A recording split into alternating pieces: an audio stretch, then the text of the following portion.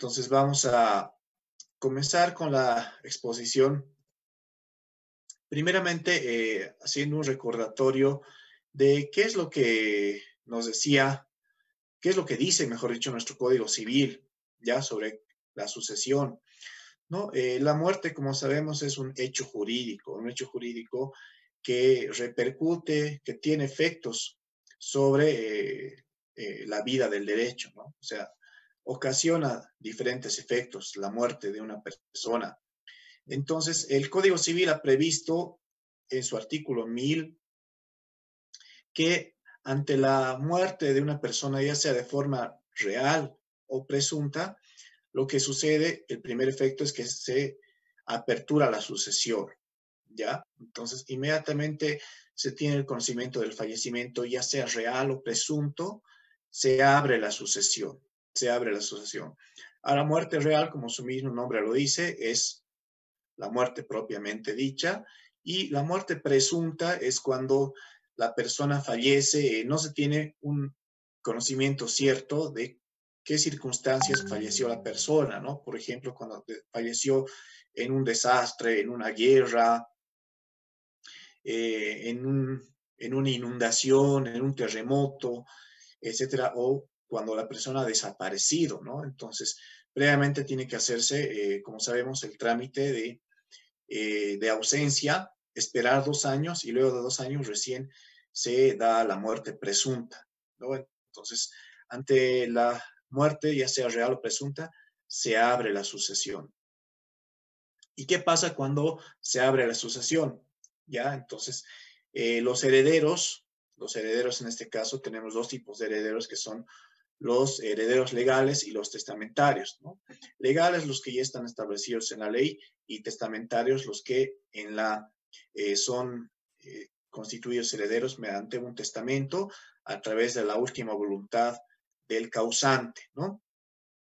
Entonces, lo que es lo, luego de aperturar la sucesión, pasa lo que es la adquisición de la herencia, ya que la herencia se adquiere, como dice bien el Código Civil en su, artículo 1007, se adquiere por el solo Ministerio de la Ley desde el momento que se abre la sucesión, ¿ya? Para, para aceptarle o renunciar a la herencia, el artículo 1016 de nuestro Código Civil señala que eh, se requiere que una persona debe ser capaz, ¿ya? Y una persona capaz es aquella que pueda adquirir derechos o contraer obligaciones. Ya esa es una persona capaz, ¿no? Que puede bien aceptar o renunciar a la herencia. Entonces, e, eso es importante saber porque para conocer qué va a pasar con una deuda tributaria es importante saber si va a haber una aceptación o una renuncia a la herencia. ¿ya? Y hay que ver en qué condiciones se acepta la herencia o se renuncia a la misma, ¿ya? Eso vamos a ver de forma detenida. Eh, ¿Qué pasa cuando el heredero es menor de edad o es incapaz, ¿ya? Cuando un heredero eh, es, eh, es incapaz, en este caso, los incapaces, hemos dicho, son los interdictos, ¿no? el Código de Familias dice que los interdictos son representados por sus curadores, ¿no? Y en el caso de los menores es una situación sui generis, porque anteriormente el Código, el código Civil nos habla de que, eh, por ejemplo, eh, en este caso los padres o tutores o representantes del menor pueden aceptar o renunciar a la herencia. Pero el Código de las Familias la ley 603 actual ha introducido una modificación interesante respecto a que sí o sí la aceptación de la herencia para un menor de edad debe ser con beneficio de inventario. Ya, eso dice el Código de las Familias. Entonces, eh, si bien el Código Civil antes permitía aceptar la herencia para un menor de edad, ya sea por sus padres o tutores, Actualmente, según la ley 603, quien tiene que necesariamente se, puede aceptar esa herencia, pero debe ser con beneficio de inventario. Ahora los padres o tutores también pueden renunciar a la herencia por esos menores de edad, ¿ya? Entonces, eh, siempre hay que ver eh, cuál es la conveniencia o no para aceptar una herencia. Y es lo que vamos a hablar ahora también. El artículo 1022 del Código Civil nos habla de cuáles son los efectos de la aceptación y de la renuncia, ¿no? Entonces, eh, los efectos son que ya sea que una persona acepte o renuncie a la herencia, todo eso se retrotrae al momento que se abre la sucesión, es decir, tiene efecto retroactivo hasta el momento en que fallece el titular. ¿Por qué? Porque hemos dicho que la sucesión se abre con la muerte, ya sea real o presunta, ¿ya? Entonces, a quien renuncia se la va a considerar como si nunca hubiera sido heredero, porque obviamente el trámite de renuncia no es rápido, ¿no? Tiene su demora, su, su tiempo correspondiente, ¿no? Y al que acepta, se le tiene definitivamente por heredero adquirente de la herencia. Es importante saber cuáles son las formas de aceptación. Ya hemos dicho, la, la, herencia puede ser aceptada o renunciada. Ahora, ¿qué pasa cuando la herencia es aceptada? Artículo 1024 del Código Civil nos dice que la aceptación de la herencia puede hacerse en, en forma pura y simple o con beneficio de inventario. Es decir, tenemos dos figuras, primeramente. Fallece el titular, una persona puede aceptar o renunciar a la herencia. Pero bueno, decide aceptar. Y la aceptación se divide en dos formas. Número uno, aceptación pura y simple de la herencia. Y número dos, aceptación con beneficio de inventario. ¿Cuáles son las características de cada una de estas dos formas de aceptar la herencia? Cuando una persona acepta de forma pura y simple la herencia, acepta todos los bienes fincados por el de cuyos, ¿ya? El de cuyos es el causante o el que fallece, ¿ya? Entonces, por la aceptación pura y simple, una persona acepta todos los bienes, acciones, derechos, materiales, bienes tangibles o intangibles, dineros fincados por el causante. Y eso también incluye los pasivos o las deudas que tuviere el causante. Existe un principio que en materia civil dice que eh, quien contrata para sí, contrata para sus herederos. ¿ya? Entonces, los contratos que esta persona en vida hubiera suscrito, las obligaciones que hubiera contraído, también se transmiten a los herederos siempre y cuando haya existido esta aceptación pura y simple de la herencia. Cuando la aceptación es con beneficio de inventario, como veremos más adelante, la situación es muy diferente. Porque cuando uno acepta pura y simple la herencia, eh, según el Código Civil, uno recibe eh, todo el patrimonio, tanto activos como pasivos, del causante. ¿Ya? Y em, entonces, llega un momento en el cual se confunden patrimonio de causante con patrimonio del heredero, ¿ya? Pero cuando eh, la aceptación es con beneficio de inventario, la historia cambia porque uno acepta la herencia, pero como su mismo nombre, con el beneficio de que se realice un inventario de todos los activos y pasivos, y en este caso los acreedores pueden recaer únicamente sobre el patrimonio del causante. Y en este caso no hay esa confusión entre patrimonio de, eh, del heredero y del de cuyos, o del, del, causa, del causaviente, ¿no? del fallecido. Disculpen, doctores, hay unas interferencias que vemos y los administradores pueden ver de silenciar los micrófonos, por favor. Hay unas interferencias que no dejan de escuchar, por favor.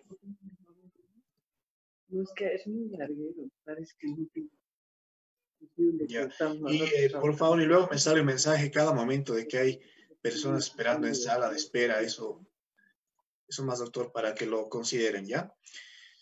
Entonces, hemos dicho formas de aceptación pura o sin y simple o con beneficio de inventario. Eh, el párrafo 2 del, artículo 1024 dice que no es válido ningún pacto ni disposición testamentaria que prohíba al heredero aceptar la herencia con beneficio de inventario. Es decir, es un derecho que todos los herederos van a tener por siempre aceptar la herencia con beneficio de inventario.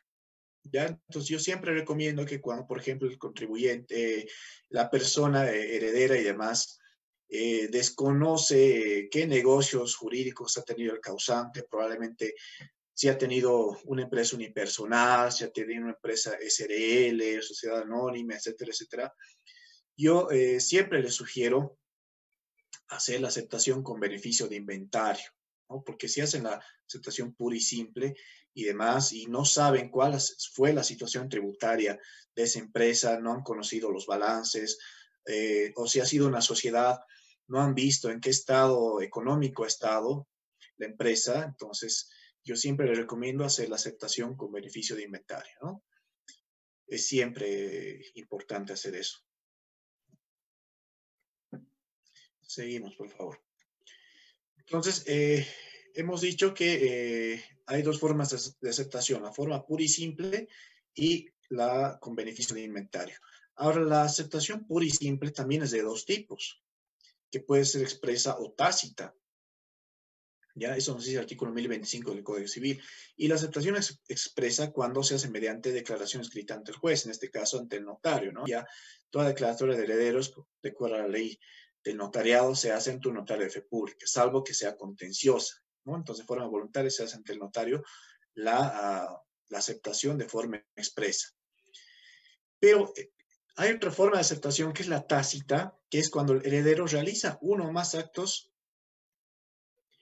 que eh, no tendría si, si no fuera en calidad de heredero. Es decir, que hay una aceptación tácita de la herencia cuando uno se comporta, sus actitudes son como si fuera el titular del derecho propietario. ¿no? En este caso, por ejemplo, dice, se presume necesariamente su voluntad de aceptar. ¿no? Eh, ¿Qué pasa, por ejemplo, cuando el titular ya está pues eh, con miras a dar en el heredero, cuando está en miras de dar un anticrético, cuando está en miras de constituir su fruto, en miras de constituir un alquiler del bien inmueble otorgado en sucesión, entonces, por más que no sea declarado de forma expresa heredero, tenemos la aceptación tácita, ¿ya? Ya, eh, les pido por favor a los colegas administradores, todavía hay interferencias que están un poco fuertes. Si pueden ver de mutear a los, al resto de participantes, por favor.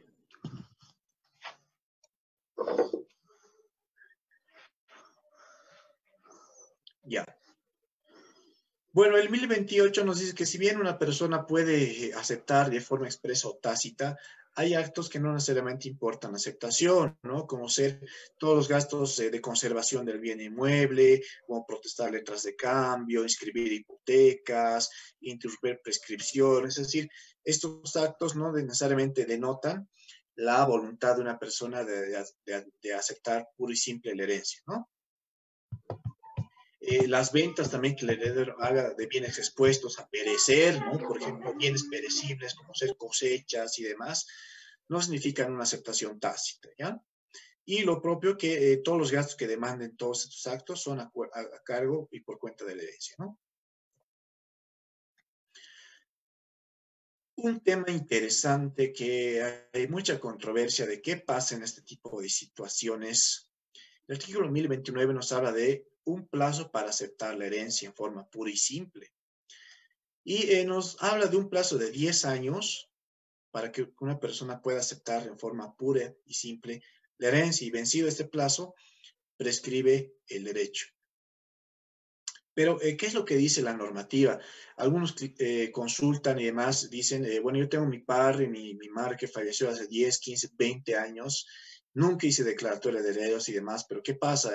aquí dice que en 10 años eh, es el plazo para solicitar la aceptación de la herencia, ¿no? Entonces, no debemos confundir dos conceptos. Aquí nos dice el plazo para aceptar eh, en forma pura y simple la herencia, ¿no? El plazo de la aceptación. Entonces, eh, el hecho de que una persona se declare heredera 10, 15, 20, 30 años no la priva de su derecho a pedir la aceptación de la herencia. Eso no la prohíbe ninguna forma de su derecho. ¿Desde cuándo se toma en cuenta este plazo? Hemos dicho desde que eh, fallece desde que se abre la sucesión con la muerte real o presunta del titular, ¿no? ¿Qué pasa con la aceptación pura y simple de la herencia? ¿no? Lo que hemos dicho, el patrimonio del decuyos, o es decir, del causante, y el patrimonio del heredero se confundan y forman uno solo. Entonces, aquí está la primera consecuencia de la aceptación de la herencia de forma pura y simple para un heredero de un contribuyente fallecido que probablemente haya tenido deudas tributarias. Ya el patrimonio, ya sea activos o pasivos, se confunden del causante y del heredero cuando hay la aceptación de la herencia de forma pura y simple. Ahí, por ejemplo, ahí, ahí el gran problema, el gran riesgo de eh, hacer una aceptación de la herencia pura y simple.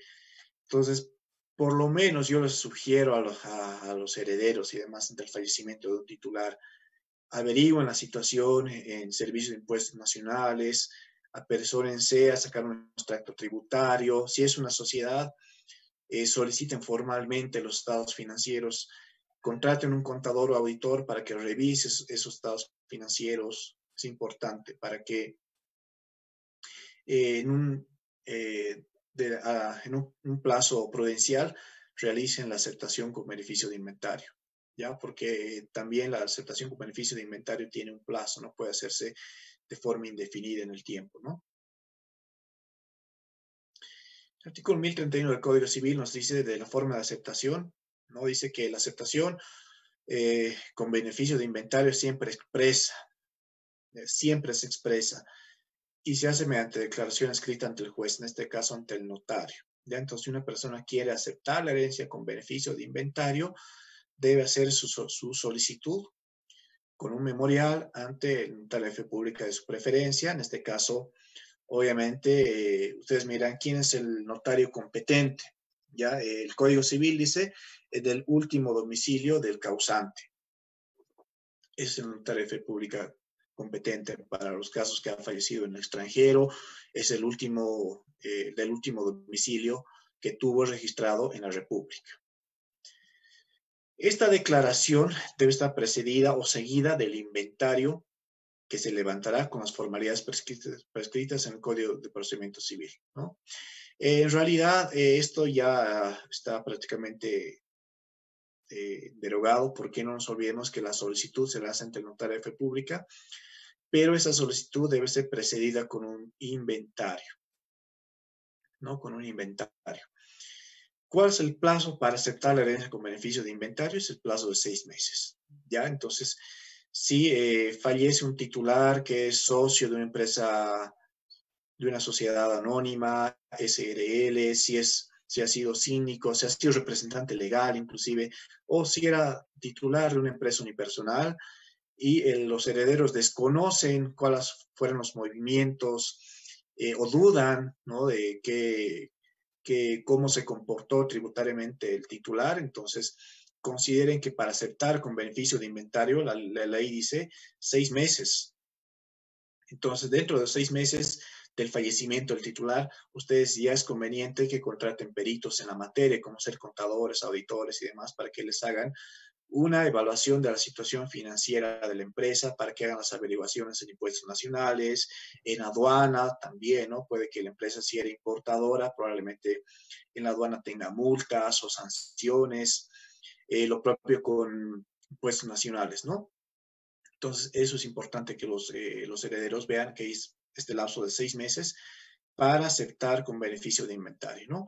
Y pasado ese término, ¿qué es lo que sucede? Después se los considera que han aceptado de forma pura y simple. Y reitero, cuando hay la aceptación pura y simple, se confunden patrimonios del causante y del heredero.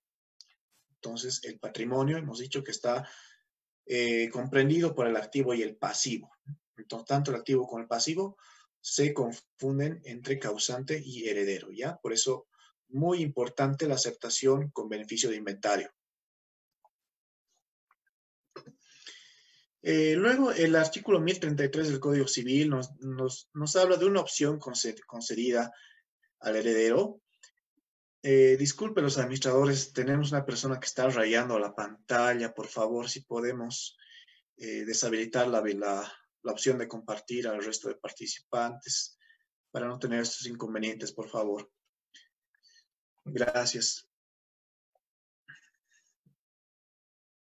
Eh, por favor, a los participantes que no están interesados, se les pide abandonar la sala. Queremos dar una, una exposición de calidad para los eh, directamente interesados, ¿ya? Se les agradece, por favor. Entonces, esta opción que da eh, el artículo 1033 del Código Civil para el heredero es que este heredero que se encuentre dentro de estos seis meses de plazo que hay para aceptar con beneficio de inventario, ¿no? Puede optar entre la herencia con beneficio de inventario o pedir que previamente se levante este para luego liberar su aceptación o no. ¿ya? Esa es la opción que le, conceden a la, persona que va aceptar con beneficio de inventario en el plazo de seis meses. Y el plazo para el inventario precedido de la declaración de aceptación, en realidad, en este caso, si el heredero opta por declarar que acepta la herencia con beneficio de inventario, debe comenzar a levantarlo dentro de los dos días siguientes a la última citación hecha a los acreedores. Cuando se inicia la solicitud de aceptación, es importante notificar a los acreedores, no a todos los acreedores en este caso. ¿Quiénes serían los acreedores? Tenemos varios tipos de acreedores, ¿no? Tenemos, eh, si ha sido una empresa, por ejemplo, grande, imagínense, pueden tener, de hecho, como acreedor, principal acreedor el fisco, segundo acreedor los eh, trabajadores, ¿no? Porque puede que sea de beneficios sociales. Tercer acreedor, eh, los acreedores hipotecarios, ¿no? Bancos y demás. Y en cuarto lugar están los acreedores quirografarios, Acreedores quirografarios son todos aquellos que tienen un documento de, un documento de, deuda o de préstamo de dinero, pero que no está inscrito en derechos reales o, eh, en tránsito, es decir, no, no se ha hipotecado, no, no, hay no se ha dado una garantía real, ¿no? Esos son los acreedores quirografarios. Eh, puede también que exista deudas al sistema integral de pensiones, a la AFP y demás, entonces eh, a todos esos acreedores se debe notificar al momento de la solicitud del beneficio de, inventario, ¿ya?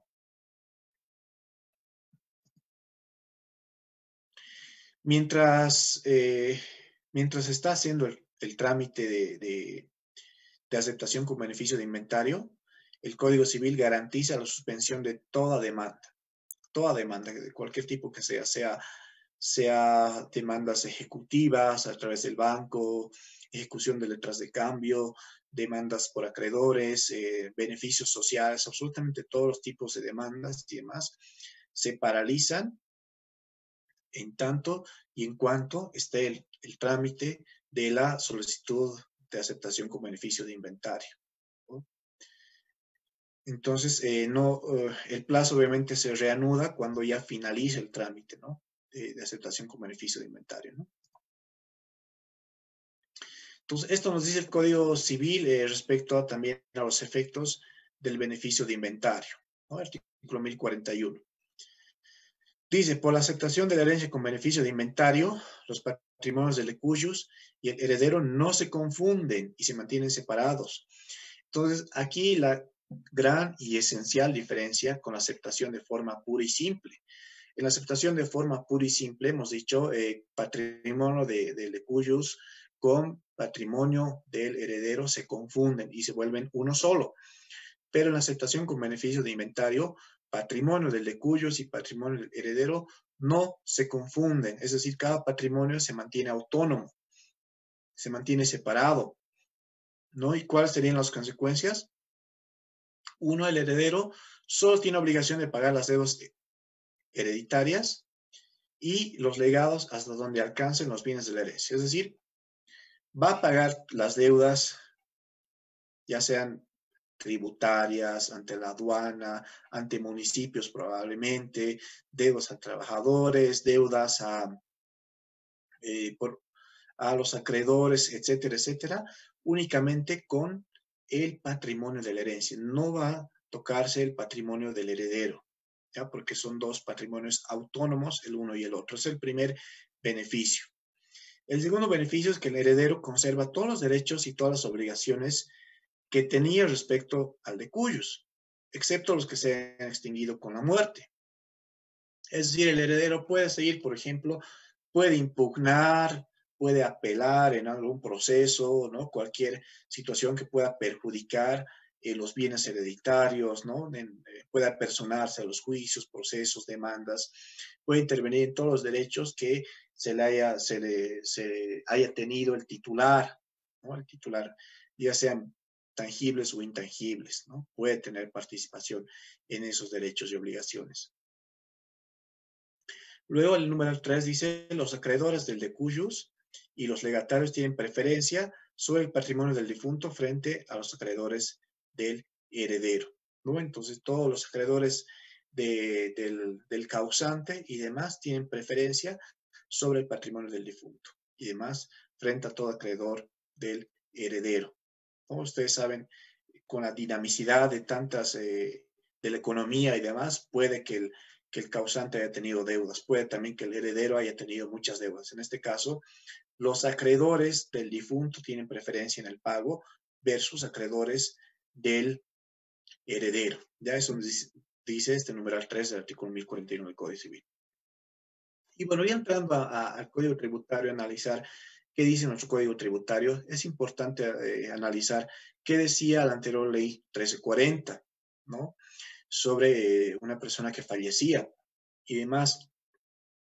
Y eh, primeramente el artículo 26 eh, nos dice que de la ley 340 que los derechos y obligaciones del contribuyente fallecido serán ejercitados o en su caso cumplidos por el heredero a título universal, sin perjuicio de que éste pueda acogerse al beneficio de inventario. Es decir, el anterior código también reconocía que las obligaciones podían cumplirse por el heredero a título universal, pero sin perjuicio del, acogimiento al beneficio de inventario. En el artículo 29 de la ley 1340 nos habla que son responsables solidarios en calidad de sucesores a título particular y nos habla de una serie de personas como ser los, los donatarios, los logatarios y, logatarios, legatarios perdón, por los tributos de vengados, eh, nos habla de los adquirentes de bienes comerciales y demás sucesores en el, activo y pasivo de empresas o entes colectivos con personalidad jurídica sin ella y demás. Y a estos efectos se considera sucesores también a los socios y accionistas de las sociedades liquidadas, ¿no? Y, eh, pero algo importante que aclara la ley 1340 y quiero que en esta manera eh, las personas que están escuchando esta exposición se queden tranquilas, que la responsabilidad sobre los sucesores siempre, siempre va a ser limitada a el valor del patrimonio. Siempre, eso hay que considerar y tener muy importante, es una garantía que tenemos no solo del antiguo Código Tributario ya abrogado, ley 1340, sino también del actual código tributario. Ya, en cierta manera, eh, tanto el anterior código como el actual son garantistas con el hecho de que toda responsabilidad que recaiga sobre los herederos siempre va a estar limitada, como dice acá, al valor de los bienes que reciban. Siempre. Y la única excepción es que esa responsabilidad es ilimitada es cuando el, eh, el fallecido ha actuado con dolo. ¿no? Aquí nos habla con dolo o culpa. ¿Y eh, qué sucede? Que me explico de una mejor manera esto. Ustedes saben, cuando una persona eh, administra patrimonios ajenos, nuestro código tributario actual los llama, los considera como terceros responsables a los representantes legales, a los administradores, etcétera, etcétera, ¿no?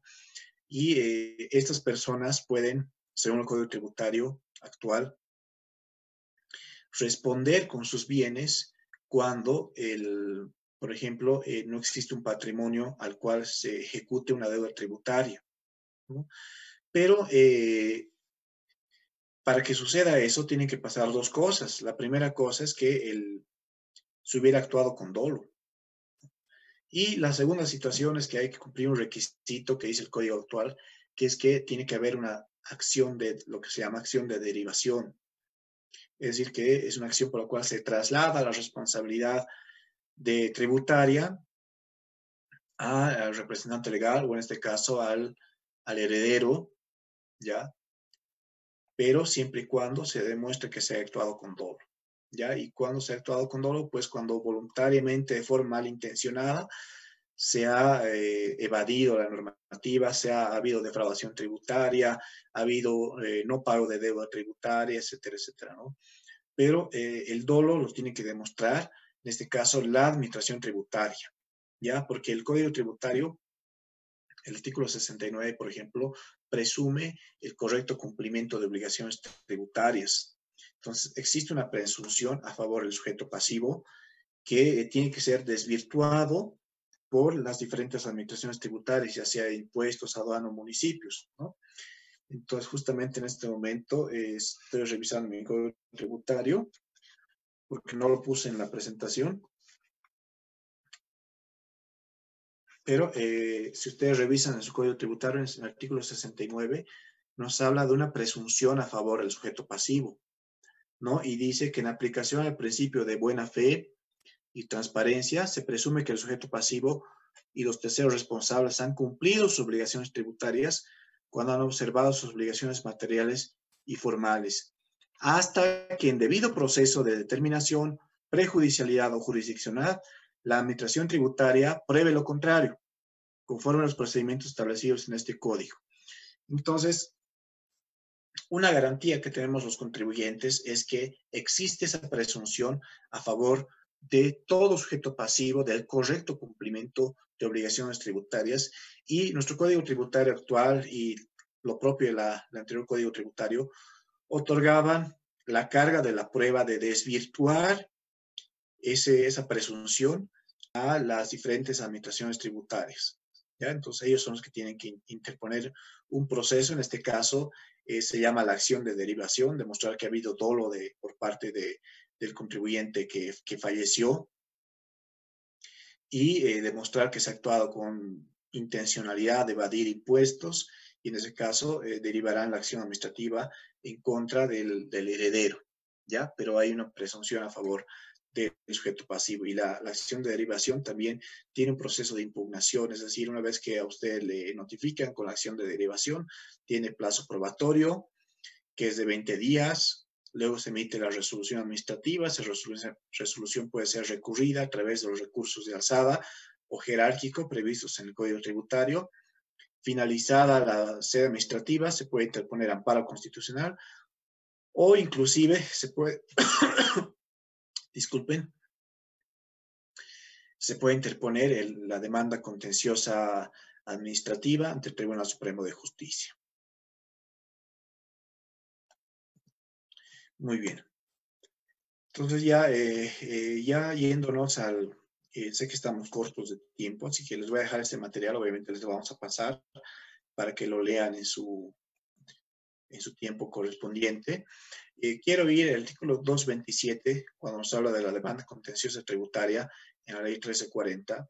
Por ejemplo, cuando fallece el, el interesado y demás, todos los términos para interponer la demanda contenciosa tributaria se suspenden hasta el momento del reconocimiento judicial de la calidad de herederos. Es decir, actualmente cuando se, se conozca con fecha cierta, a ciencia cierta, quiénes son los herederos, eh, recién se va a poder reiniciar, eh, se, va, se va a volver a reanudar los plazos para interponer esta demanda contenciosa tributaria.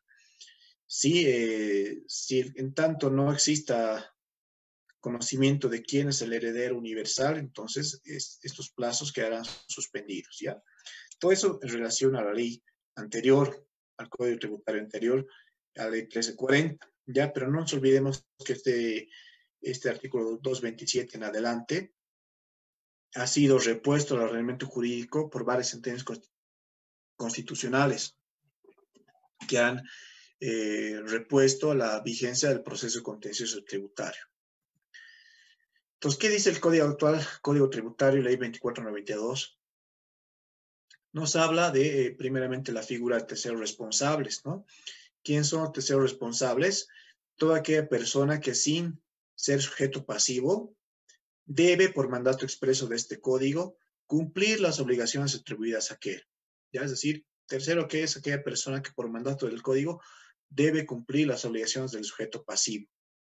Y en este caso, habla de eh, las personas de terceros responsables a los sucesores, ya los sucesores, ya sea título universal o ya sea oneroso, ya entonces una persona puede ser sucesora por efecto de la sucesión propiamente dicha a través de la muerte o a través de la donación. Ya en, en ambos casos uno se convierte en tercero responsable. Entonces un heredero vendría a ser un tercero responsable, es decir, una persona obligada a cumplir las obligaciones tributarias que en su momento se atribuyeron al sujeto pasivo, en este caso al causante, ¿no? Entonces, ¿qué dice también el Decreto Supremo 27.310, que es el reglamento del Código Tributario? En su artículo 4, inciso B, nos dice que son responsables de la, de la obligación tributaria.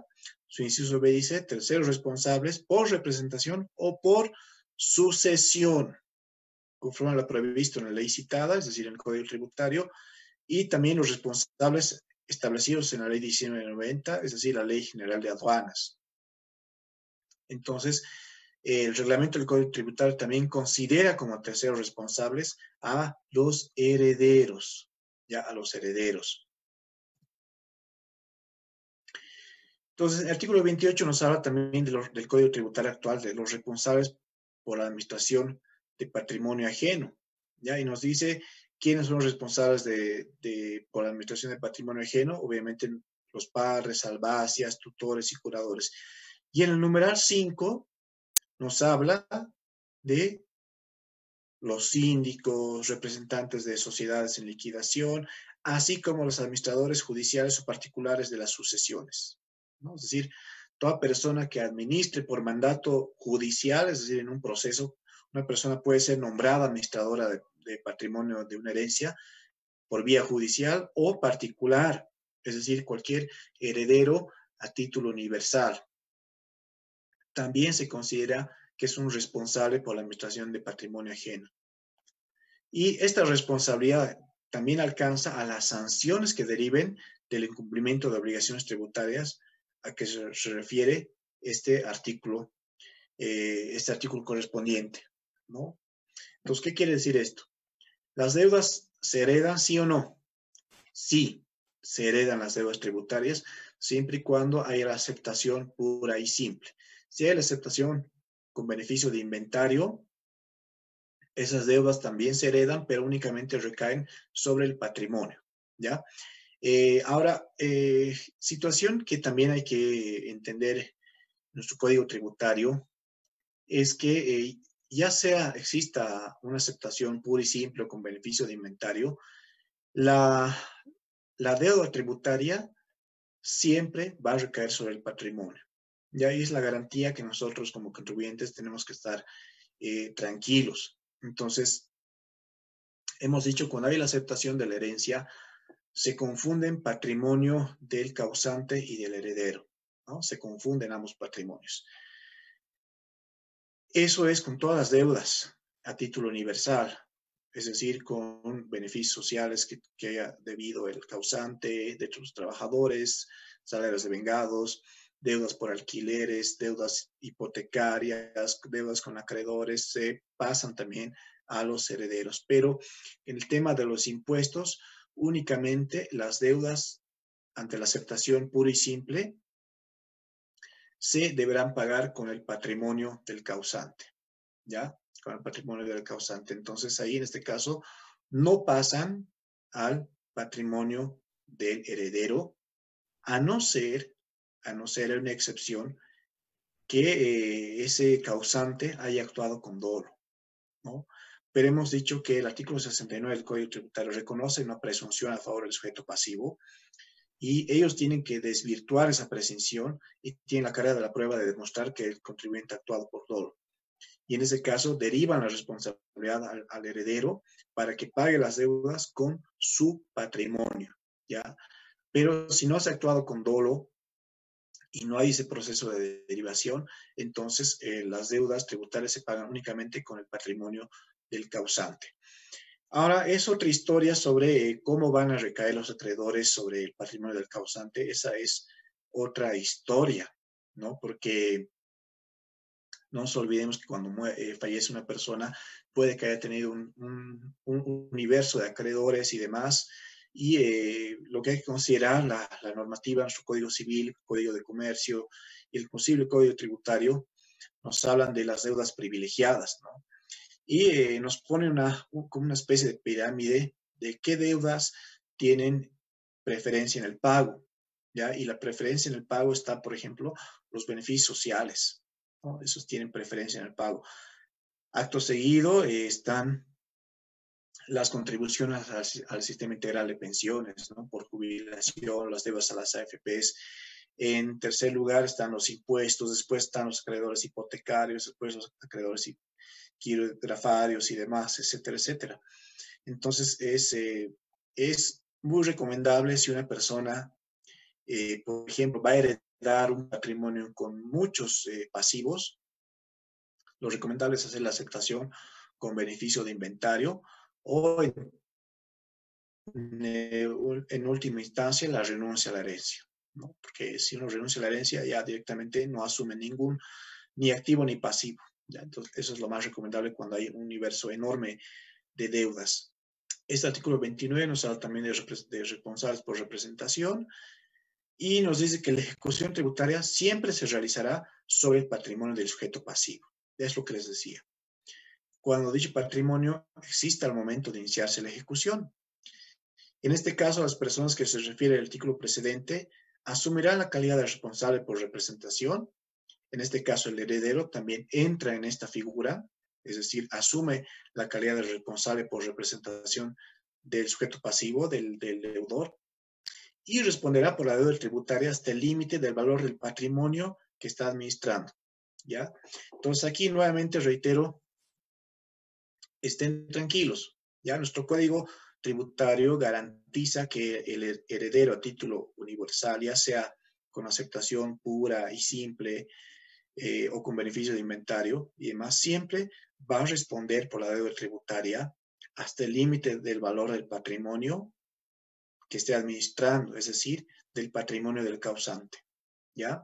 Nunca va a haber la confusión de patrimonios con deudas tributarias. Eso pasa, esa confusión de patrimonios habrá con otras deudas, como ser beneficios sociales, hipotecas, anticréticos, etcétera, etcétera. Pero con deudas tributarias siempre la, normativa garantiza que se pague con el patrimonio del causante. ¿Ya? Entonces, tenemos que estar tranquilos porque afortunadamente tenemos un código tributario garantista en ese aspecto específico. En otros aspectos el código tributario es muy criticado porque tiene aspectos eh, hasta confiscatorios, ¿no? Pero eh, nosotros no vamos a, ver ese tema, ¿no? Pero enfocándonos en el tema específico que hoy en día estamos viendo sobre deudas tributarias, nuestro código sí es bastante garantista. Ahora, el artículo 30 del Código Tributario nos habla de los responsables subsidiarios, ¿no?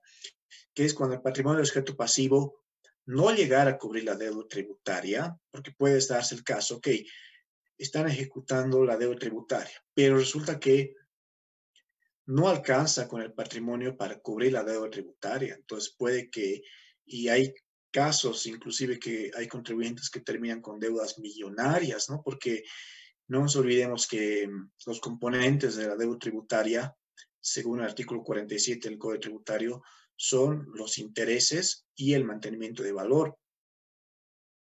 Eh, el mantenimiento de valor se actualiza conforme las unidades de, fomento a la vivienda.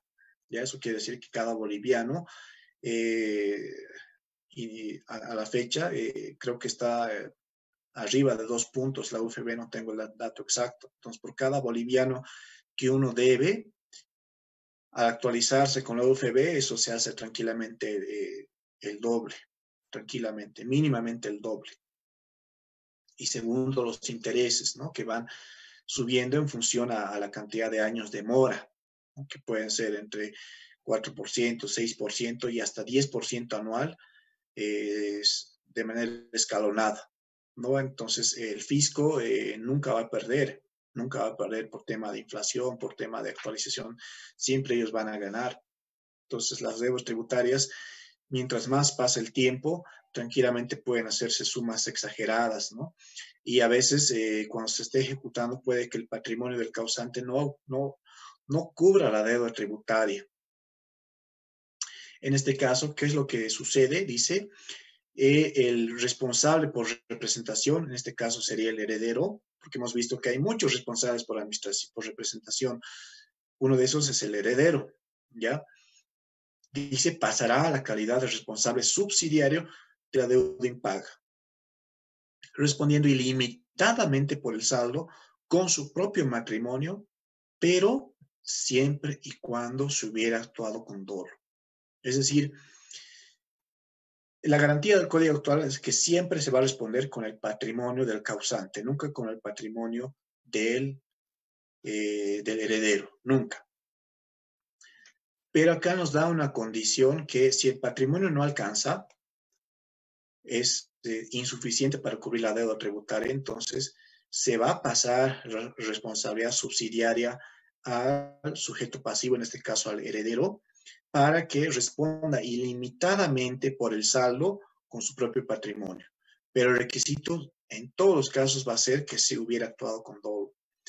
Reitero, para que pase esto, es la administración tributaria la que tiene la carga de la prueba, tiene que cumplir con todo un proceso administrativo que se llama derivación de la acción, eh, proceso de derivación administrativa, tiene que notificar al, heredero, el heredero tiene plazo probatorio, hay una resolución que puede impugnarse, como hemos dicho, es decir, puede impugnarse en sede judicial o administrativa por mucho tiempo, ¿no? Y obviamente tiene todas las garantías de ley, ¿no? Porque el, eh, hay una presunción, artículo 69 hemos dicho que se presume el correcto cumplimiento de obligaciones tributarias. Entonces, es la administración tributaria la que tiene la carga de la prueba para demostrar que ha existido dolo. Entonces, esto eh, nos eso es lo que les decía, eso es lo que quería llegar. Este es el trámite que tiene que seguir la administración tributaria para cobrar al heredero las deudas tributarias del causante cuando no alcanza el patrimonio para cubrir la deuda, es decir, por el saldo, ¿no? Y tiene que interponer una acción que se llama derivación de la acción administrativa. ¿En qué consiste? Es una acción para exigir a quienes resultan responsables subsidiarios el pago del total de la deuda tributaria. En este caso requerirá un acto administrativo previo en el que se declare agotado el patrimonio del deudor principal. Se determina su responsabilidad de cuantía bajo responsabilidad funcionaria. Entonces, tiene que agotarse previamente este trámite de que eh, se establezca el agotamiento del patrimonio del deudor principal se determine su responsabilidad y su cuantía. Esta acción, hemos dicho, eh, tiene que cumplir el requisito de que se demuestre también que el, contribuyente fallecido ha actuado con dolo, ¿no? Ha actuado con dolo. Ese es el requisito esencial para derivar la administración, la acción administrativa para la responsabilidad subsidiaria, que dice el Código Tributario. El requisito esencial es que se actuado con dolo, demostrar que se ha actuado con dolo. Este, esta acción de derivación se notifica y se puede impugnar, como hemos mencionado anteriormente, ¿no? Entonces, el artículo 34 nos habla también sobre los responsables solidarios por sucesión a título particular, ¿no? Y nos dice quiénes son responsables subsidiarios, nos aclara donatarios y legatarios, por los tributos de vengados con anterioridad a la transmisión. ¿ya? Primer elemento. Los que adquieren bienes mercantiles por explotación de estos, ellos también son responsables subsidiarios, ¿no? Y eh, esto quisiera que, que me tomen la máxima atención porque esto, este párrafo es clave, clave para ejercer una defensa adecuada ante un fallecimiento de un, de un eh, sujeto pasivo de deudas tributarias. Dice, la responsabilidad establecida en este artículo está limitada al valor de los bienes que se reciban. Reitero nuevamente. Y aquí el código es reiterativo en el tema, ¿no? Para que nuestros administradores tributarios no se olviden, ¿no? El código tributario es bien reiterativo en el caso que la responsabilidad es limitada al valor de los bienes que se reciban, ¿ya? A menos dice que los sucesores hubieran actuado con dolo. Nuevamente, se requiere la actuación de dolo que debe ser demostrada por la administración tributaria, ¿no? Y demás.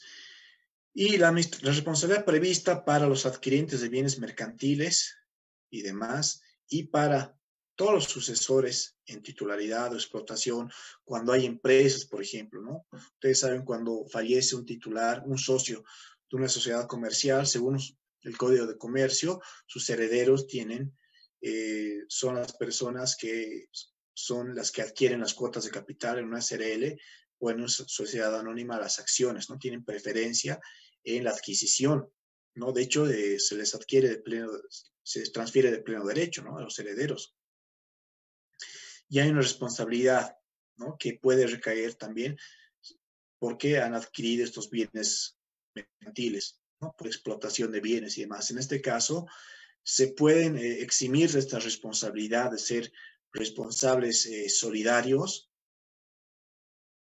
y demás luego de los 12 meses de efectuar la transferencia. ¿no? O sea, únicamente por un año son responsables solidarios. ¿Ya?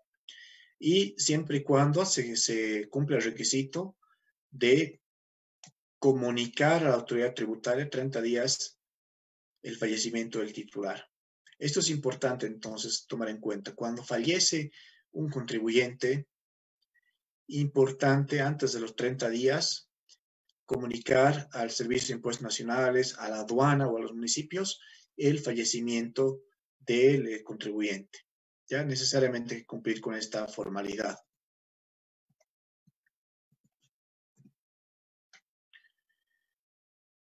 Esto prácticamente eh, nos dice que los sucesores de las personas naturales a título universal, dice que los derechos y obligaciones del sujeto pasivo y el tercero responsable fallecido serán ejercitados o en su caso cumplidos por el heredero universal, sin prejuicio de que pueda acogerse el beneficio de inventario. O sea, el heredero con beneficio de inventario también puede intervenir en los derechos y obligaciones del sujeto pasivo y demás. No, no quiere decir que uno por acogerse al beneficio de inventario se le excluye de los derechos y obligaciones que tenga el causante al momento de fallecer, ¿no? Ahora este párrafo 2 es también clave, clave que lo tengamos en mente porque dice que en ningún caso serán transmisibles las sanciones, ¿ya? excepto las multas ejecutoriadas antes del fallecimiento del causante y que puedan ser pagadas con el patrimonio de este. Tres elementos bien importantes. Primer elemento, las sanciones nunca se heredan. Las sanciones se extinguen con la muerte del contribuyente contraventor, valga la redundancia. Entonces, ¿Qué, es, qué incluye las sanciones? Todo lo que son multas, ¿ya? La sanción más típica y más conocida es la sanción por omisión de pago. Esta sanción es del 100% del tributo omitido. Entonces, eh, ante un pago en defecto, por ejemplo, ustedes saben que se aplica la sanción por omisión de pago, que es el 100% del tributo omitido. Y las, los pagos en defecto, pues, son muy comunes hoy en día ante situaciones de insolvencia y es muy probable que si un contribuyente fallece, tenga eh, pagos en defecto. ¿ya? Únicamente lo que pasa, lo que se hereda es la deuda tributaria, pero no así la sanción.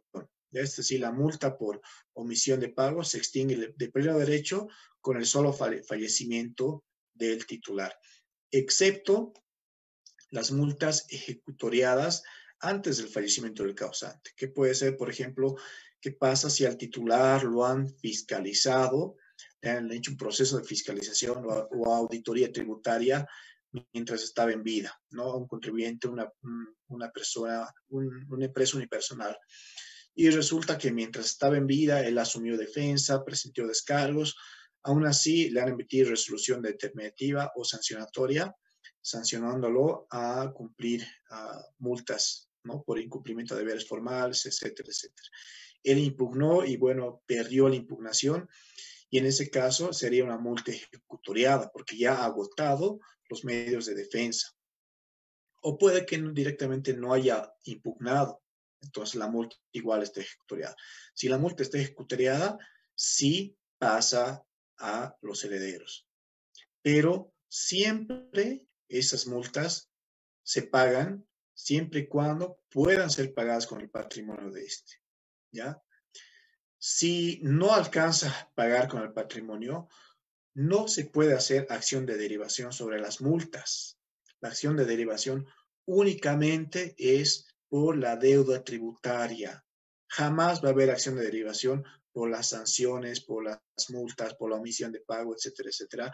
Eso se extingue con la muerte, salvo que esté ejecutoriada y pueda ser pagada con el patrimonio. Si, si el patrimonio es insuficiente, jamás, jamás va a pasar a los herederos.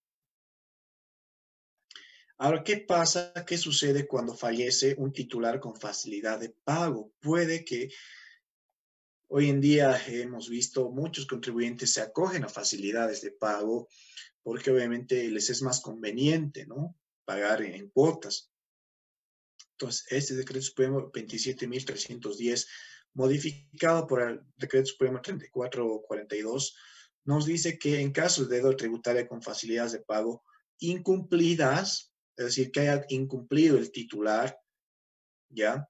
Los sucesores, ya sea de personas naturales, colectivas o jurídicas, sucesoras de los pasivos tributarios y demás, o inclusive los socios o accionistas que asuman responsabilidad de las sociedades en liquidación o disolución, pueden solicitar una nueva facilidad de pago por única vez. ¿Ya? Es decir, no hay que preocuparse si de repente el titular tenía una facilidad de pago y la incumplió y luego falleció. ¿Ya? Los sucesores pueden acogerse a una nueva facilidad de pago. O inclusive si el, y bueno, si el tiempo ha pasado, los sucesores pueden pedir la prescripción. Ya la prescripción, actualmente está de ocho años a partir del año 2016 ya a partir del año, el año, hasta el año 2012, la prescripción era de cuatro años. El 2012 se modifica los plazos de prescripción y comienza con la ley 291, comienza a ser para la gestión 2013 cinco años, para la gestión 2014 seis años, gestión 2015 siete años y en la gestión 2016 se modifica nuevamente el código tributario con la ley 812 y se vuelve a establecer, se, se establece de forma definitiva ocho años de prescripción que se aplica hacia el futuro, ¿ya? Nunca de forma retroactiva, siempre hacia el futuro. ¿Qué pasa cuando muere el multado? Ya el artículo 159, inciso A, dice que se extingue la sanción. Ya hemos dicho, y bueno, aquí el Código Tributario reitera, que la sanción jamás va a pasar a los herederos, jamás se extingue, ¿no? Porque, dice que cuando, fallece la persona natural, el tercero responsable o el representante legal multado, todas las multas se extinguen de pleno derecho. Pasarían a los herederos siempre que ocurran estas circunstancias. Primero, que esté ejecutoriada la multa o la sanción. ¿ya?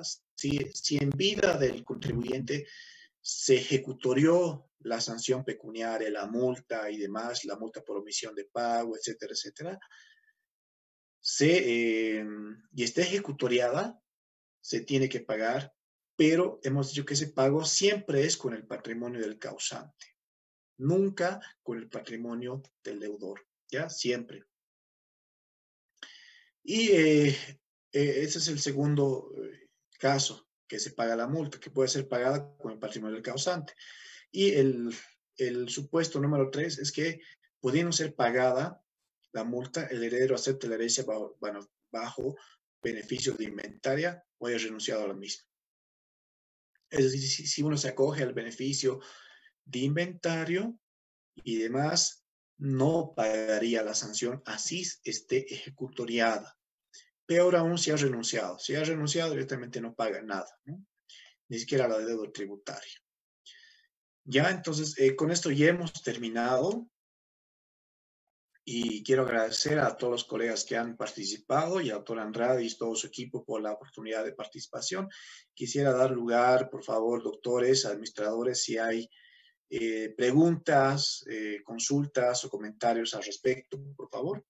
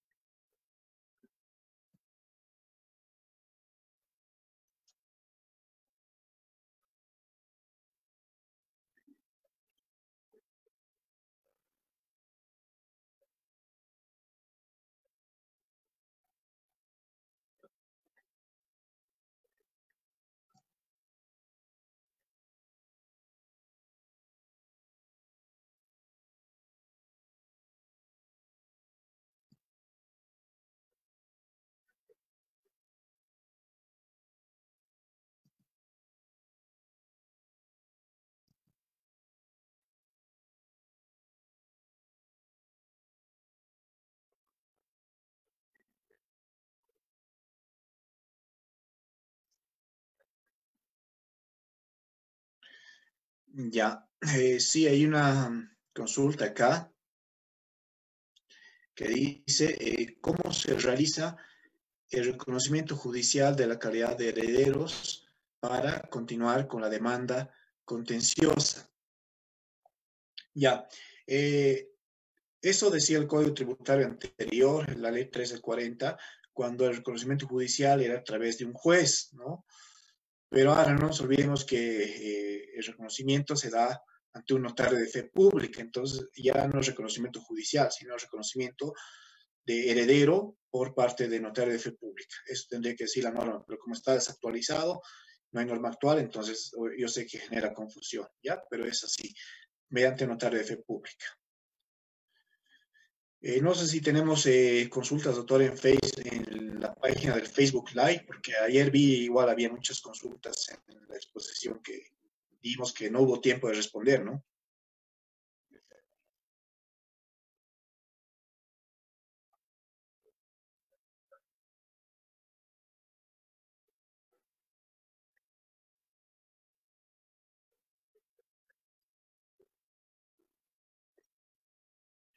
Ya, eh, en este caso no, no existe la figura de cesión. Lo que habla el Código Tributario es eh, del beneficio de lo, que existe es la dación en pago, ¿ya? La dación en pago. Se puede, es un trámite administrativo que hay que, que, hay que hacer ante la administración tributaria, ofreciendo obviamente la dación en pago, adjuntando todos los documentos del bien inmueble y ellos van a verificar seguramente la lodial, derechos reales, ¿no? Si todas las eh, características técnicas del inmueble y emitirán una resolución aceptando en dación en pago el, bien inmueble. esa es la figura que se da, no existe la figura de cesión en tema de deudas tributarias, ya es dación en pago que se puede hacer.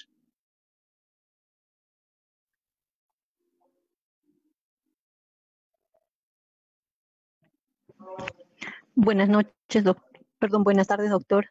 Eh, una pregunta. Usted había hablado, sobre el tema de la prescripción para realizar la declaratoria de herederos. Doctor, una pregunta. Como bien sabe, hay muchos clientes que pasaron más de 10 años y ellos quieren realizar la, declaratoria de herederos. Sobre el tema del pago tributario, ¿cómo, cómo es que cuantifican el monto para cobrar, eh, para cobrar los impuestos por la muerte del, del cuyo, disculpe. Ya. Primero, eh, el tema de la prescripción es algo que no debe preocupar a, las personas, a los herederos, ya, porque la prescripción hay un principio que eh, nunca se declara de oficio, ya necesariamente tiene que ser invocada por la persona perjudicada, entonces algún, eh, algún tal vez acreedor, no sé, perjudicado, que se sienta perjudicado por ese plazo que no se declaró, que no aceptó la herencia, entonces podría demandar la prescripción. Ya hay un juez declarar nunca operada de oficio, jamás operada de oficio la prescripción. Entonces, una persona puede declararse heredera después de 10, 20, 30 años, en tanto y en cuanto no hay una sentencia judicial que declare prescrito su derecho. Ya obviamente será previa demanda. Luego, ¿cómo se cuantifica las deudas tributarias? Eh, como habíamos dicho, eh, la deuda tributaria se actualiza constantemente conforme la UFB. Entonces, una deuda tributaria que hoy eh, es de, de 100 bolivianos, dentro de poco tiempo será 200 y así sucesivamente puede crecer en gran manera. Entonces, hay muchos tributaristas que, que, critican que es, es, una norma que cae inclusive en la usura, porque tiene interés sobre interés, porque tiene, por un lado, el fisco tiene los intereses legales, ¿no? Y por otro lado, tiene el mantenimiento de valor, conforme al UFB. Entonces, eh, en teoría, eh, estamos aplicando lo que es conocido como el anatocismo, ¿no? Que es el interés sobre el interés, ¿no? Entonces, lamentablemente, las deudas se cuantifican en gran manera. Entonces, eh, fallece una persona, automáticamente, si usted va y pide una liquidación, tienen que excluir todas las multas y sanciones, automáticamente. Y eh, solamente se pagarán las, las, multas que estén ejecutoriadas, ¿ya? ¿Y qué son multas ejecutoriadas? Tiene que haber previamente un proceso de fiscalización o determinación del tributo y tiene que haber una resolución determinativa o sancionatoria que esté ejecutoriada. Es decir, el contribuyente puede que no haya apelado o si ha impugnado esa resolución, que eh, haya fenecido eh, todo el proceso de impugnación, sea administrativa o judicial.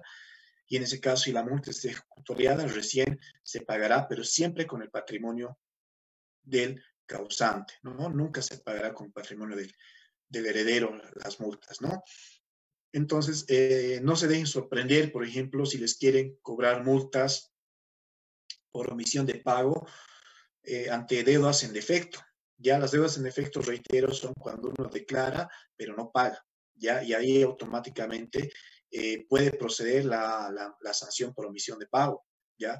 Pero esa sanción por omisión de pago no, es, no se aplica de forma automática, tiene que haber un proceso en el cual ellos por lo menos inicien la ejecución tributaria y, o tenga una, existe una resolución sancionatoria por la cual se sanciona ese contribuyente por omisión de pago. Entonces, no se dejen sorprender que cuidado les quieran cobrar multas por omisión de pago eh, que no estén en una resolución sancionatoria o en una resolución determinativa. Eso tiene que tener, fijarse, ¿no? Tener mucho cuidado. Por eso es importante que si tienen eh, un cliente con un cúmulo de patrimonio que no saben eh, cuál es el activo y pasivo, es siempre importante eh, contratar un contador o un auditor que sea entendido en la materia, ¿no? O, un abogado tributarista para revisar y evaluar, eh, revisar eso, ¿no? Revisar si hay multas ejecutoriadas, si hay procesos sancionatorios, si hay resoluciones determinativas, ¿no? Eh, puede que esas, esas resoluciones estén dentro de plazo para impugnar.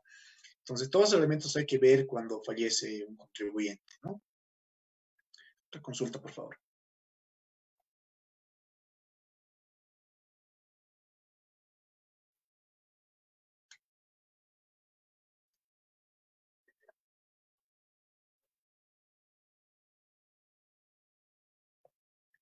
Sí, buenas tardes, doctor. Un saludo a todos los colegas. Mi consulta es la siguiente. Usted sugirió que vayamos a, bueno, a impuestos, a, verificarnos sobre todas las deudas pendientes que hubiera tenido ya el, el causante, el cuyos, pero en este caso no podría agarrarse después este, en, impuestos diciendo que nosotros hemos actuado de manera dolosa al rechazar ya la herencia. No sé si me dejé entender muy bien. Ya. Muy bien. Hemos dicho que el dolo siempre tiene que ser demostrado por ellos mediante un proceso administrativo. No pueden ellos asumir conductas de dolo en ningún caso, porque el artículo 69 del Código Tributario establece una presunción a favor del sujeto pasivo y esa presunción es del correcto cumplimiento de obligaciones tributarias. Entonces, no pueden presumir ninguna conducta que es dolo. tienen que ellos probarla, ¿ya? Y que es como un proceso que eh, usted puede defenderse siempre, ¿ya? Y el hecho de ir a, sí que muchos eh, contribuyentes tienen miedo, por ejemplo, de ir a sacar, de, de ir a averiguar, o inclusive de sacar estratos tributarios, porque algunos piensan que eh, el hecho de que uno saque un estrato tributario indica que uno está reconociendo la deuda o que interrumpe la prescripción. Falso, falso, falso. No se interrumpe la prescripción, no se anula la prescripción, no se reconoce ninguna deuda tributaria al pedir estrato tributario. Ya es un mero acto de administrativo que no tiene ningún efecto en ningún efecto jurídico tiene sacar estrato tributario, ¿ya? O sea, no pasa absolutamente nada, no tienen que tener miedo ni temor de eso. Ya, no sé si hay más dudas y consultas, por favor.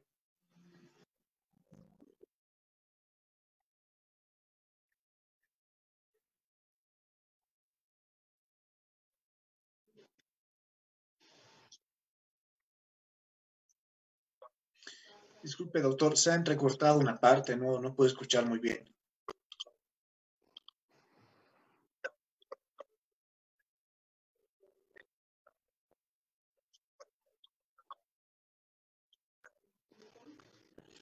Ya, es, eso sí eh, es, es grave, ¿no? En ese caso sí le puede multar al, al, al heredero, ¿no? Por no proporcionar información en su momento. ¿Ya? Y además que puede acarrear problemas en el hecho de que eh, ellos sigan la ejecución tributaria, ¿no? Y probablemente eh, usted no se va a enterar y he conocido casos de muchos herederos que han aparecido con las cuentas congeladas, ¿no? Entonces, es, eh, eso hay que tomar el directo interesado de comunicar el fallecimiento de, del contribuyente es el heredero, ¿ya? Para no estar con problemas después de ante ejecuciones tributarias, ¿ya? Porque esas ejecuciones tributarias son bastante fuertes. Le hacen retenciones de fondos ante el sistema financiero, actuación preventiva en los bienes en derechos reales, entonces eh, quedan en situaciones muy complicadas los herederos. Entonces, él es el directo interesado de comunicar eh, oportunamente, ¿no? Cuando ha ocurrido la muerte del contribuyente, ¿ya?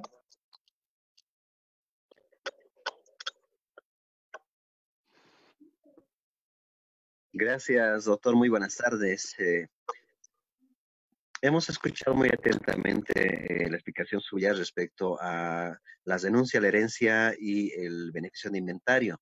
Mi pregunta es la siguiente. Mire, ¿qué pasa cuando el, el causante ¿no? Em, hace, tiene, tiene una actividad eh, comercial, realiza sus declaraciones impositivas y fallece? Y eh, sucede que impuestos internos no hace la, fiscalización inmediata, ¿no es cierto? Sino que eh, entiendo de que lo hace cada dos años y aleatoriamente y probablemente para el momento en el que impuestos internos encuentre alguna infracción en la declaración impositiva, ya el heredero de pronto ya no tenga la oportunidad para eh, renunciar a la herencia o recibir bajo beneficio de inventario, entendiendo de que de acuerdo al Código Civil se tiene un plazo, doctor. No sé si en este aspecto se puede tomar alguna acción previa por parte de los herederos o eh, no sé si existe otro mecanismo legal, doctor. Ya, muchas gracias. Sí, tiene usted razón, es muy buena pregunta. A veces eh, uno puede inclusive actuar de muy buena fe y puede llegar a fiscalización, que a veces en fiscalizaciones observan todo, absolutamente todo, y multan por todo y por nada. Entonces, eh, ¿qué es importante hacer? Y yo sugiero, cuando hay esa duda, eh, no van a tener otra alternativa que contratar un perito o contador o auditor eh, que tenga experiencia en fiscalizaciones o auditorías tributarias, ¿ya? Porque ellos, eh, inclusive los abogados tributaristas que hemos que defendido clientes en fiscalizaciones, sabemos lo que van a observar, ¿ya? Dependiendo del tipo de contribuyente. Entonces, si es, por ejemplo, un contribuyente, una, una SRL, sé que la fiscalización puede ser más grave, más gravosa frente a una empresa unipersonal o a un profesional independiente, por ejemplo. ¿no? Entonces, generalmente lo que más observan es la depuración de facturas, ya porque ahí en impuestos nacionales hay una línea prácticamente a depurar todo el crédito fiscal y únicamente aceptan eh, situaciones que ellos consideran pertinentes, ¿no? Como ser el alquiler de la oficina, eh, gastos de oficina, gastos de escritorio y, y demás. Entonces van, van depurando pagos a proveedores. Por ejemplo, eh, si usted tiene efectivamente un pago que ha hecho un proveedor y le, le han emitido una factura, pero ¿qué pasa si resulta que usted no tiene eh, al día su carga de inventarios, entonces también le van a depurar su crédito fiscal por no tener cargas de inventarios actualizados, porque no hay una diferencia. Entonces, eh, las fiscalizaciones pueden ser muy severas, muy severas llegado el momento. Entonces, siempre yo sugeriría que cuando ha habido movimiento económico grande y, por ejemplo, se trata de unipersonal, tan solo ver, con tan solo ver su libro de compras y ventas ya me, puedo dar cuenta de qué facturas le van a depurar y qué, cuáles le van a, le van a tener, ¿no? Eh, dependiendo también del rubro. Eh, el rubro de transporte es el único rubro a la fecha que tiene una normativa específica sobre qué facturas sirven para el crédito fiscal. Y si bien es muy limitado, bueno, por lo menos ya tienen ellos un horizonte de qué pueden descargar. Y bueno, actualmente hay para los profesionales independientes de manera temporal por el Decreto Supremo 4198, ciertas facturas que podemos utilizar, eh, se, pueden utilizar los profesionales independientes para su descargo, como ser educación, salud de su núcleo familiar, cosa que antes les depuraban, ¿no? Entonces ya por lo menos hay un horizonte, entonces hay que ver siempre qué rubro es, qué tipo de contribuyente es, es persona natural, jurídica, a qué actividades se, dirigía, si ha bancarizado sus, obligaciones de mayores a 50 mil bolivianos, cómo está su estado de cuentas, si tiene al día sus, su, su, contabilidad y demás. Hay contribuyentes que no tienen una contabilidad específica, lo único que hacen es presentar las declaraciones mensuales a impuestos, pero no tienen una contabilidad propiamente hecha por algún profesional porque bueno, algunas veces se entiende, tal vez la economía no le da al empresario para contratar un contador de planta, entonces únicamente recurren a contadores externos para que les hagan la declaración mensual y los balances y nada más. Entonces ahí obviamente hay un alto riesgo de que no fiscalización eh, exista la depuración de facturas. ¿ya? Entonces es mi, mi, sugerencia, siempre es recurrir a un buen profesional entendido en la materia que revise qué posibilidades puede haber de depuración de facturas, ¿ya? Y eso ameritará que obviamente existe una deuda tributaria actualizada que se pague. Las multas obviamente no se pagarán porque ya, ya falleció el contribuyente, ¿no? Pero sí las deudas tributarias actualizadas, el tributo omitido y demás, eh, puede que sea una suma elevada. Entonces recomiendo siempre acudir a un buen profesional que revise esa situación y eh, ni modo, pues va a tener que hacerse declarar como con beneficio de inventario, ¿no? No queda otra alternativa porque eh, es lo más beneficioso, es lo más beneficioso hacerse declarar con beneficio de inventario como hemos visto actualmente, ¿no? Eh, no sé si tenemos otras dudas, por favor, colegas.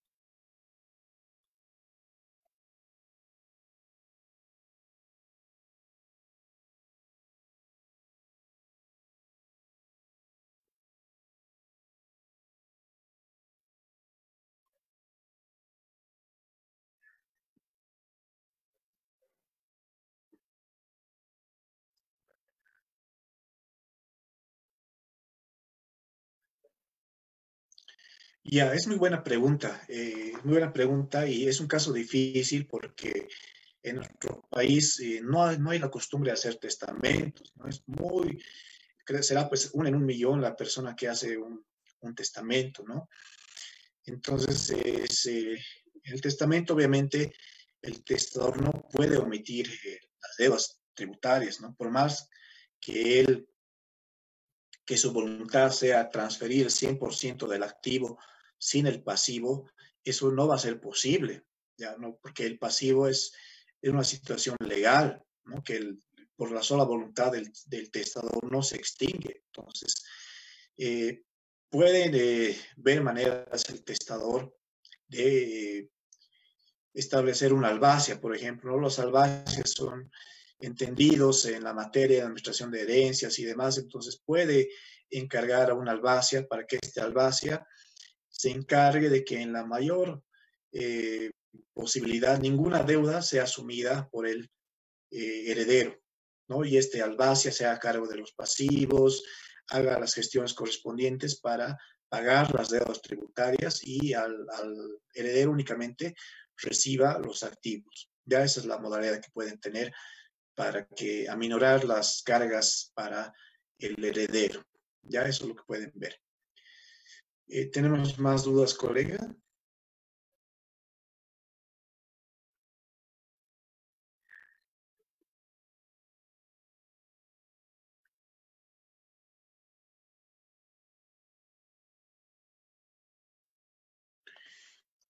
Creo que hay consultas en el chat de Zoom, doctor. Eh, acabo de ver unas dos nuevas consultas que no había anteriormente. Ya. Hay una que dice, eh, ¿la prescripción también se invoca cuando hay una ejecución tributaria? Claro que sí.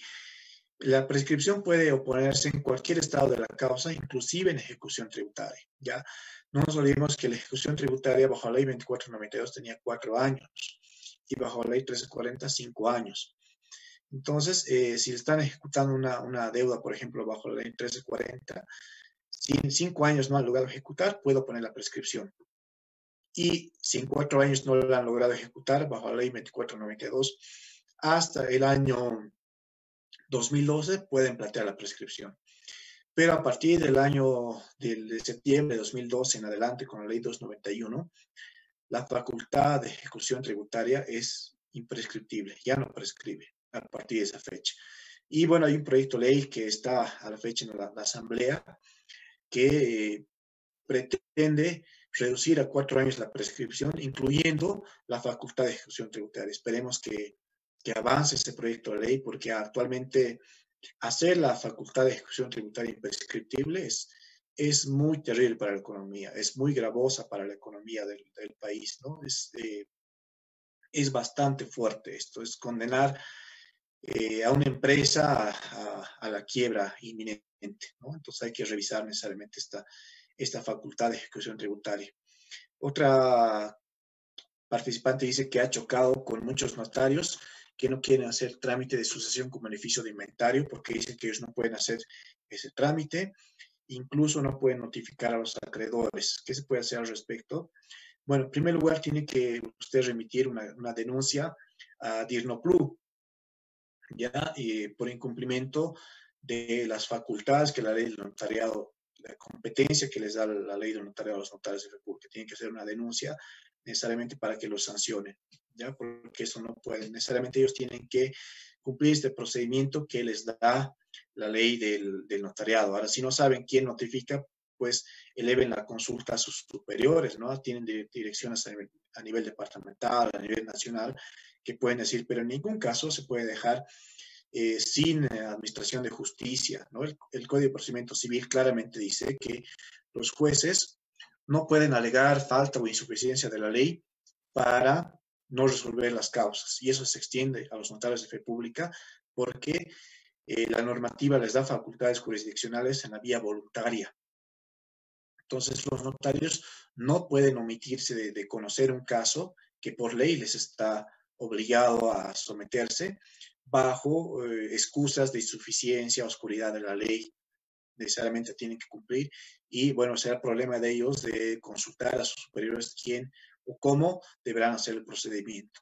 ¿Ya? Entonces tienen que denunciar, colega. Y la última pregunta que veo acá que dice, ¿a partir de cuándo empieza a correr la prescripción tributaria? ¿Cuándo se interrumpe la prescripción? Bueno, eh, es un tema que da para todo un conversatorio, pero de manera concreta vamos a decir que eh, la prescripción comienza a correr a partir de la, de la gestión calendario siguiente al vencimiento que tuvo lugar la obligación. Me explico con obligaciones, por ejemplo, como el IVA o el IT, que su declaración es mensual y su vencimiento es mensual, entonces el cómputo es desde el primero de enero de la gestión siguiente a la cual se venció. Entonces, IVA IT, por ejemplo, de la presente gestión 2020, comenzaría a computarse desde el primero de enero de la gestión 2021, ¿ya? Y cuando se interrumpe la prescripción, se interrumpe con dos, dos situaciones. Uno, cuando le notifican con una resolución determinativa o cuando una persona reconoce, expresa o tácitamente la deuda tributaria o por uh, contraer una facilidad de pago. Eso es una interrupción de la prescripción. No que pasa si uno se coge un perdonazo, también interrumpe la prescripción porque está reconociendo implícitamente eh, que debe al fisco, ¿no? Entonces, por la interrupción, todo el plazo que ha corrido de prescripción se anula, y, pero se vuelve a reanudar al primer día del mes siguiente al que se produjo la interrupción. Eso es el Código Tributario, desde el Código, eh, artículo 61 del Código Tributario. Ya es, son todas esas las dudas que tengo por Zoom. Eh, doctor, no sé si hay más dudas o ya concluimos el evento, dígame usted.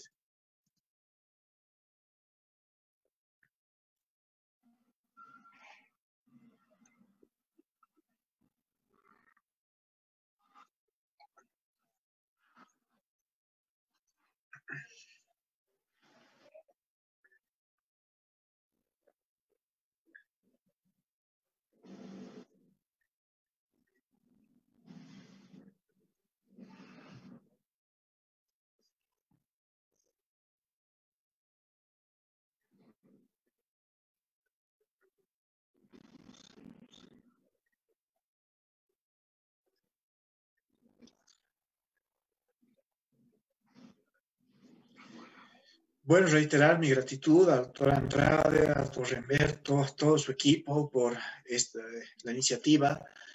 Ha sido para un gusto haber compartido eh, estos temas. Espero que no sea la primera vez y bueno, más adelante podamos compartir otros temas. Todas las personas que, que, deseen, bueno, pueden buscarme en YouTube. Tengo un canal que se llama Eleazar Peña Barrios. Eh, tengo también la página en Facebook, Eleazar Peña Estudio Jurídico o Risolvere. Eh, donde compartimos eh, jurisprudencia, artículos de interés para abogados y bueno, también compartimos los diferentes cursos y seminarios de actualización que tenemos en materia jurídica. Entonces les invito a seguir en Facebook la página Resolver y la página Alianza Peña Estudio Jurídico.